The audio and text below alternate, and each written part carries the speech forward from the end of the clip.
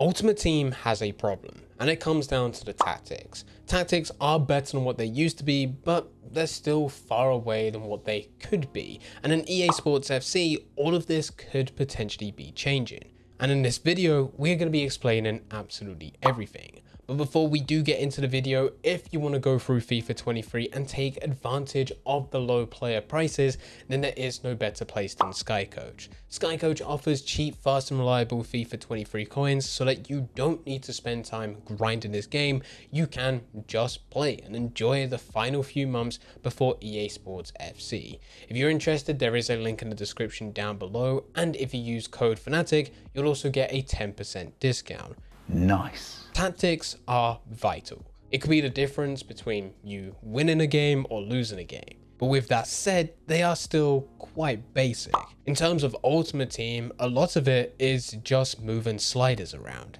Now this design is deliberate. The idea is that anyone can pick up and play Ultimate Team and they would instantly understand that if they go and increase the width or change the depth, maybe even change the build up play, they know exactly what they're doing. It is simple and accessible so that anyone can play Ultimate Team and instantly understand what to go and do in terms of tactics. They can at least have a basic understanding of what to change up and have a slightly higher chance of their team playing the way that they want them to play. And it certainly helps those who are wanting to jump into the game for the very first time, but this is also very limiting. There are so many other things that could be implemented to make tactics better, and it just hasn't been done. Things that would actually help those that are first starting FIFA to have better controls over their team rather than with the current system. Many players believe and have said for a very long time that EA should ditch this current tactic system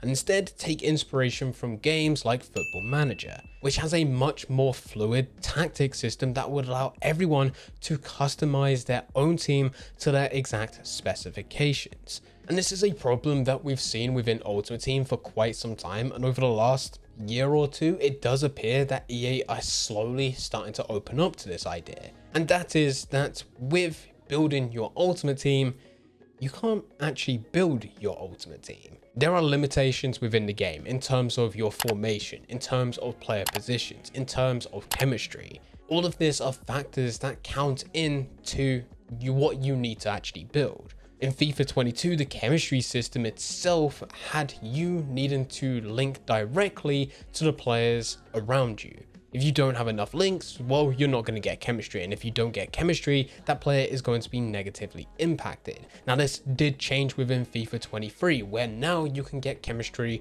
across the whole pitch. So it isn't about linking players directly to each other, just about having the players within the team. And it's opened the door up slightly more, but was still limited because players then had their preferred position and an alternative position. But what players quickly found is that now because of this new way, it doesn't quite help. It doesn't really change anything for a player such as Marcus Rashford, who by default have the positions of a striker as well as a left wing. But there is no way in which you can convert them down to a left mid or even bring them down to a centre forward or cam if you wish to do so. And yes, I understand that Marcus Rashford may not play those positions within real life, but this is a game. And the whole purpose is to build your ultimate team, but you can't. So that is where tactics come into play and people end up using these so that they'll have their default team, which is what they're going to start out with, but they're going to go and switch to something more attacking or defensive, depending where they put it, which will change player positions within games so that they are not negatively impacted.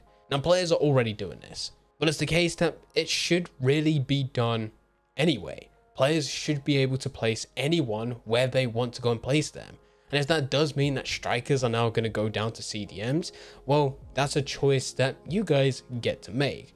And with this would come much more open and fluid formations without being restricted. For example, if you were going to go and take the 4-1-2-1-2, Maybe as part of that formation, you don't just want your left mids and right mids to be there. Maybe you want them to cut inside so that it would drag defenders and fullbacks for the opposition also inside. And then that is when you have your custom tactics, your tactics to have your wingbacks overlapping. Now, there are options for this to somewhat happen within game, but it doesn't always work out. There are certain areas of the pitch which have always been locked. You can set players to have certain actions. There is already a stay back whilst attacking and always overlap option for your fullbacks. But regardless of what you select here, they will still overlap and they will still stay back. This in itself could just be an AI problem, but with this, by having a much more fluid and an open formation system where you can directly take players and say, hey, I want you to be within these specific areas for most of the game, that they would then stay within those areas. And in terms of it being a fullback, of course, you can then have that for the full right side and left side of the pitch, rather than just going into your custom tactics and changing a player with player instructions to say always overlap, because it doesn't really do too much. This would also help to see if things are actually in action and we actually get feedback because there is already a heat map within FIFA 23 as part of the match highlights, which tells you player performance and where they've actually been. So we can actually see factually whether or not these instructions are making any difference.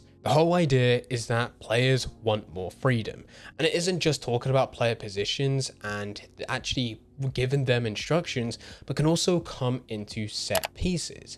Set pieces themselves haven't really changed too much. You can press various buttons to call a player closer, maybe control a player within a box to move them around. And if you're going in co-op, of course, you can tell the other person that you're playing with to move to a certain location but having a set piece option so that you can actually move players around and have a set way in which you want to take free kicks, corners, throw ins, whatever it may be, you can actually physically take those players, move them into the position where you always want them to be, and hopefully they will be there by the time that you actually come around to that set piece. Rather than it being a preset that every player has where they can control the direction using the D-pad. And of course, whenever this type of topic is brought up, there is always people saying, well, why would EA do that? It just means that people are going to go ultra defensive and they're just going to park the bus and in corners they're going to put everyone on a line. And yes, that will likely happen. Someone is going to do it.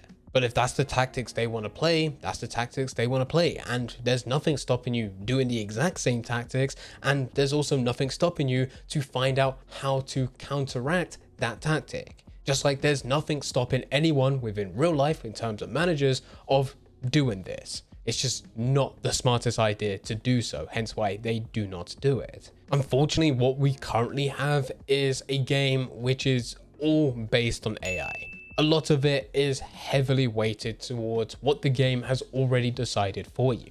In terms of player positions and in a lot of cases your defenders when actually defending a corner there's loads of times where it will take a five foot seven attacker and put them in a defensive position in the box for a corner up against a six foot center back and there is nothing that you can do as long as your opponent has the intelligence and know-how of how to cross it to that exact player without it getting close to the goalkeepers or any other defenders. It's a goal every single time and you have no control over that. So being able to assign players to select the tallest player within your team to always man mark the tallest player in a set piece will help you is a choice that should naturally be made, but cannot be made within Ultimate Team. And there's these types of little details that players would like to see within EA Sports FC. If you couldn't tell by this video, I am someone that just wants to play. I really like the idea of there not being chemistry and there also not being positions for players. Of course, you can buy them and they'll have their preferred positions. And by moving them to another position, it will lower their rating. That's the type of system that I'm looking for. That way, if I was to go and take someone like Mbappe and put him as a centre back, he's not going to perform as well compared to if he was actually a striker. But even if you don't want to see Ultimate Team in the exact same way that I do, I think we can all agree that having more in-depth tactics is only going to be a benefit. You can keep them basic if you want to, But if you want to go a bit more in depth, then there's also the choice to go and do those as well, rather than having the basic system of what we currently have. But anyway, guys, I hope you guys did enjoy. If you did enjoy, don't forget to leave a like and subscribe. But for now, I'm going. So see ya.